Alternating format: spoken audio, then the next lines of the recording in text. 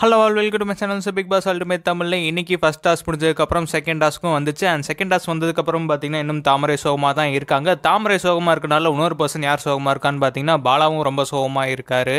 Second டாஸ்கில் இன்னொருத்தராக மாறினா நீங்கள் யாரை மாதிரி மாறுவீங்க? அவங்ககிட்ட இருக்க ப்ளஸ் பாயிண்ட் என்ன? அண்ட் மைனஸ் பாயிண்ட் என்ன? இதை தான் சொல்லணும். அண்ட் இதுக்கு பார்த்தீங்கன்னா ஃபஸ்ட்டு தாமரை தான் எந்திக்கிறாங்க. தாமரை எந்திரிச்சதுக்கப்புறம் பாலா நேம தான் சொல்ல போகிறாங்கன்னு சொல்லிட்டு எதிர்பார்த்தா யார் நேம சொல்லியிருக்காங்கன்னு பார்த்தீங்கன்னா நிருப் நேம சொல்லியிருக்காங்க. அங்கேயே பார்த்தீங்கன்னா பாலா தலை கீழே போட்டாரு. நெருப்பை பொறுத்த வரைக்கும் பாசம் சென்டிமெண்ட் அதெல்லாம் ரொம்ப பார்க்க மாட்டேன். பட் நான் அப்படி கிடையாது. நான் ஒருத்தர் மேலே பாசம் வச்சுட்டா ரொம்ப பாசம் வச்சிருவேன். அவங்க கிட்ட இருந்து ஏதாவது சின்னதாக நெகட்டிவாக வந்தால் கூட என்னால் ரொம்ப தாங்க முடியாது. ஸோ நெருப்பு மாதிரி பாசத்தை வெளிப்படுத்தாமல் யார்ட்டையுமே பாசம் காமிக்காம இருந்தால் நானும் நல்லா இருப்பேன்ற மாதிரி பாலாவை இன்டெரக்டாக சொல்லிட்டாரு. பாலா ஹர்ட் பண்ண மாதிரி.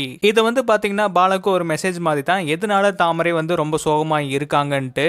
ஓவரா பாசம் வச்சுட்டேன் பட் பாலா சைட்லேருந்து அது வரலன்ற மாதிரி தான் தாமரை சொல்லியிருக்காங்க. அண்ட் பாலா அவரோட டர்ன் வரப்போ எந்திரிச்சு தாமரைக்கு ஒரு மெசேஜ்னு சொல்லியிருந்தாரு. இந்த வீட்டை பொறுத்த வரைக்கும் நான் சதீஷ் மாதிரி இருக்குன்னு நினைக்கிறேன். ஏன்னு பார்த்தீங்கன்னா கேமை சும்மா மட்டும் அனலைஸ் பண்ணிவிட்டு அப்படியே உட்காந்துட்டு போயிடலாம். யாரையுமே ஹர்ட் பண்ண தேவையில்ல. கேமுக்கு உண்மையாக இருக்கவும் தேவையில்ல. வாங்கின காசுக்கு வேலை செய்யணும்னு அவசியமே இல்லை. சும்மா பார்த்துட்டு நிம்மதியாக போயிடலாம். மகிழ்ச்சியாக அது இருக்குன்னு சொல்லியிருக்காரு பாலா.